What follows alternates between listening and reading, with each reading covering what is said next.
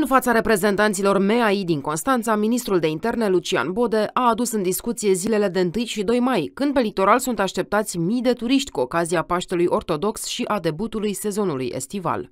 Am discutat pe marginea organizării Sfintelor Sărbători de Paște, care în acest an coincide cu ziua de 1, respectiv 2 mai, când ne așteptăm la o prezență uh, numeroasă în județul Constanța, pe litoral.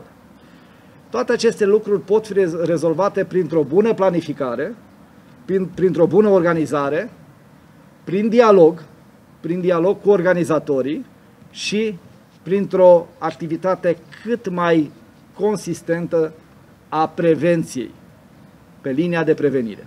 Iar turiștii nu vor avea nicio derogare de la regulile impuse de pandemie. Vor trebui să respecte restricțiile în vigoare, inclusiv interdicția de a ieși din case după ora 20 în weekend.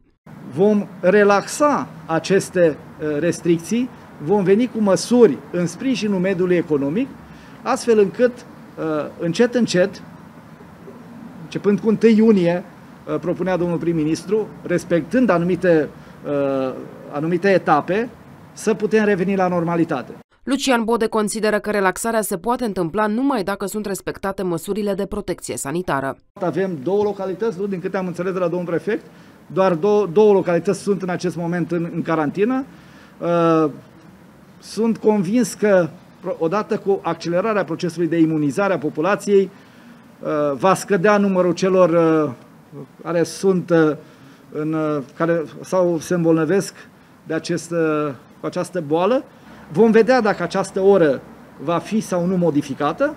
Uh, cert este că și pentru Sfintele Sărbători de Paște avem uh, în hotărârea CNSU reglementat foarte clar că în intervalul 20, respectiv 2, uh,